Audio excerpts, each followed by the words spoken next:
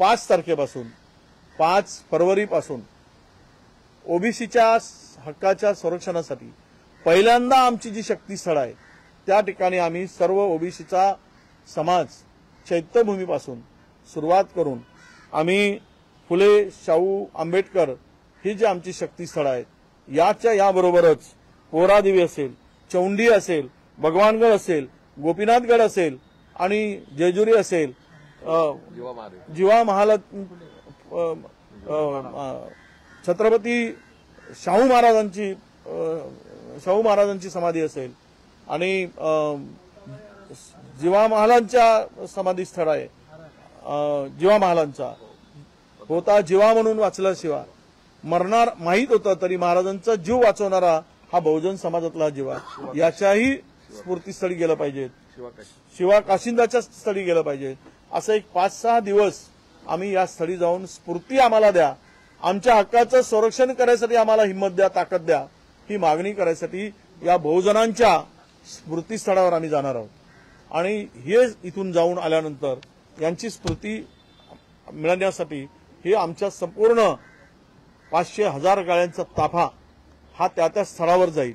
आणि शपथ घेऊन की आमच्या हक्काच्या संरक्षणासाठी आम्ही एक आहोत. या शक्तीनिशी तो उभा राहील.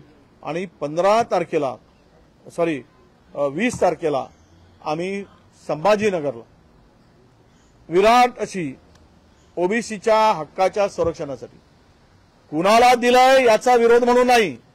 आणि हे लक्षात घेतलं पाहिजे कोणी. आणि आमच्या अंगावर कुणी येण्याचा विषय नाही. आम्ही आम्ही त्यांना सचेत करतो आमच्या हक्काच्या संरक्षणासाठी.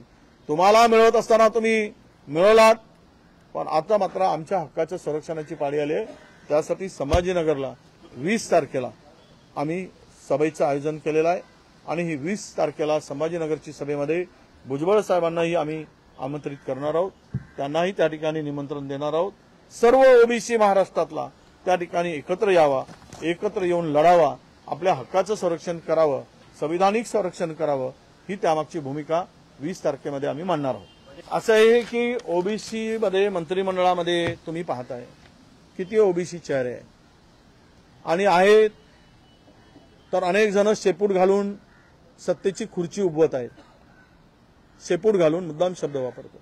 त्यांना सत्ता महत्वाची आहे ओबीसी आणि आपल्या समाज बांधवाचं हित महत्वाचं वाटत नाही म्हणून ते शेपूट घातले आहे कोणी लढतो आहे तो एकटा पडणारच. कारण सत्ता आणि संघर्ष जर ज्यांच्या ज्यांना करायचा आहे तो समाजासाठी तर त्याला एकटे पाडत असतील तर हा समाज नक्कीच ओबीसी म्हणून स्वतःच्या संरक्षणासाठी जो लढेल त्याच्या पाठीशी उभा राहील.